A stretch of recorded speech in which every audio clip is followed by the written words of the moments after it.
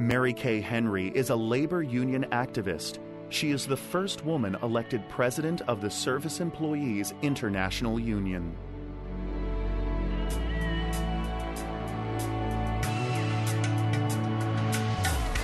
For information about the 31 lesbian, gay, bisexual, and transgender icons, visit LGBTHistoryMonth.com.